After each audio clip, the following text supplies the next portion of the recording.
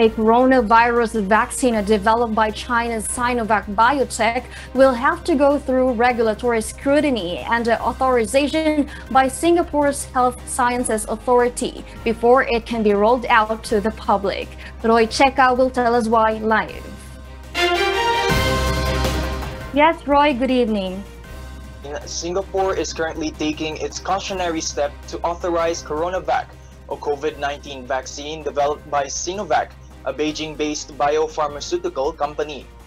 This vaccine will be scrutinized by Singapore's Health Sciences Authority, or HSA, before it can be rolled out to the public, said Health Minister Gan Kim Yong yesterday, January 13. The Sinovac vaccine has yet to be approved, following the Brazilian trial stating that Sinovac was only 50.4% effective, barely meeting the threshold for its approval. Singapore plans to go through the data when it comes, rather than depending on the reported numbers, said Mr. Gan.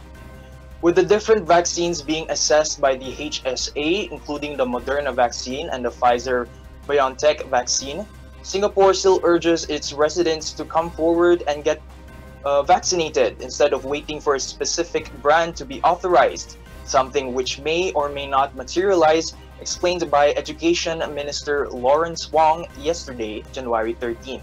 Back to you, Mariel. All right, thank you, Roy Cheka, live from Singapore.